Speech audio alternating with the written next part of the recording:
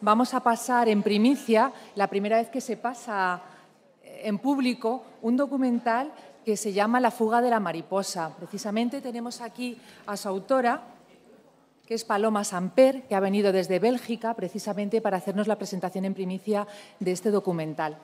Eh, voy a presentar muy brevemente a Paloma, eh, que es una artista multidisciplinar, es madrileña, aunque está afincada en Bélgica ya desde hace muchos años. Ha trabajado en, bueno, en temas de joyería, diseños, mucha variedad, yo creo que de temas que has trabajado, pero sobre todo es colaboradora en un programa de radio de poesía de la cadena SER y también en documentales sociales. Algunos documentales que hemos tenido la oportunidad esta semana de poder visualizar eh, son Adán y Eva, un documental sobre intersexualidad que además tuvo el premio del público. Mientras se van apagando las luces, espero poder seguir leyendo un poco tu currículum, Paloma.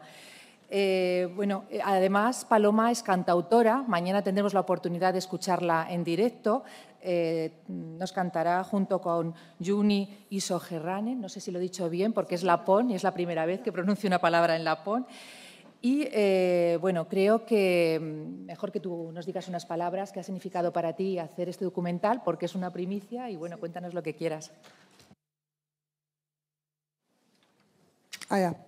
Gracias. Primero dar las gracias a la organización, a UNAF, a Julia y a todas las personas que han hecho que este documental se pueda ver públicamente. Yo he trabajado durante muchos años en temas sociales, haciendo documentales, pequeños trabajos, por ejemplo, expulsión de gitanos, sobre los sin techo, mm, bueno, infinidad de, trabajos, el último la intersexualidad, así. Eh, de repente, cuando trabajo para Victoria Deluxe, es una asociación sociocultural con temas sociales y abarcamos todo tipo de, como ya he dicho, todo tipo de cuestiones. Cuando nos unimos a otra organización y nos ofrecieron hacer un proyecto común con el nombre Princesas.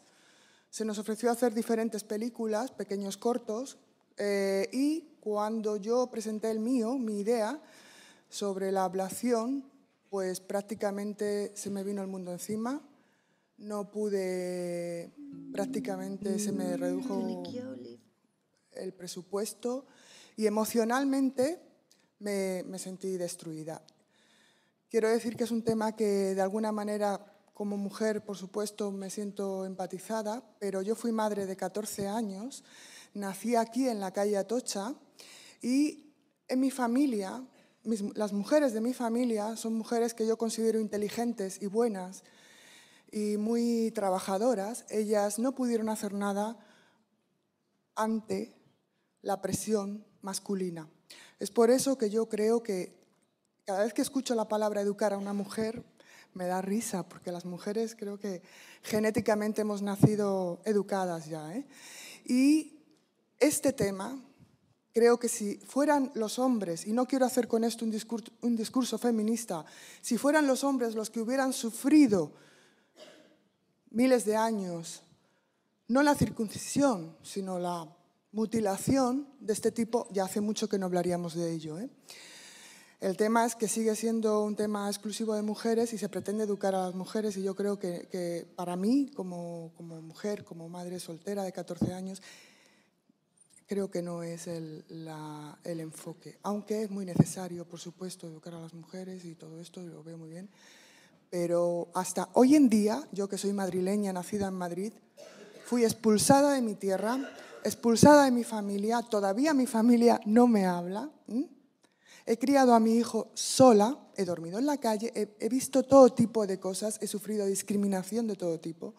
Y cuando vi la primera imagen de una niña en estas condiciones, no pude evitarlo y me sentí muy, muy cercana. ¿no? Si tú no aceptas este tipo de reglas, desde luego estás fuera solamente dar las gracias y decir que no soy una experta en sanidad ni una experta en psicología, pero creo que la vida me ha puesto en el camino de experta en emociones.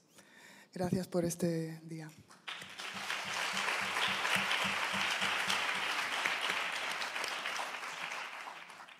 Bienvenida a tu casa, Paloma, porque sabes que UNAD somos la organización de la diversidad familiar y en nuestra casa están también las monoparentales y precisamente conocemos muy bien todo lo que, toda la problemática que lleva.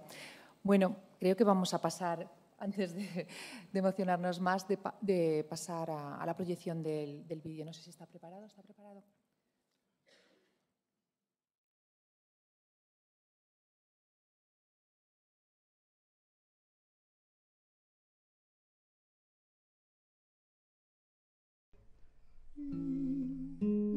Toen ik jouw leeftijd had, mijn kindje, vertelde mijn mama mijn verhaal.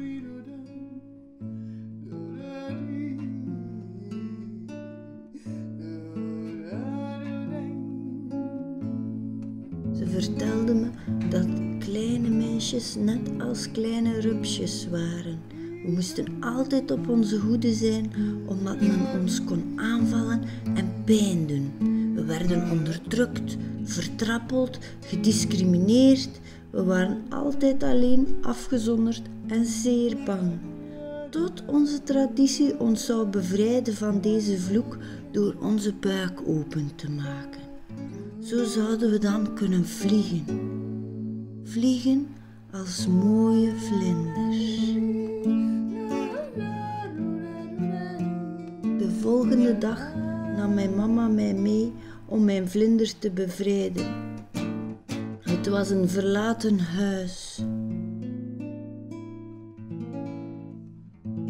Er waren enkele glimlachende vrouwen die me vastgrepen.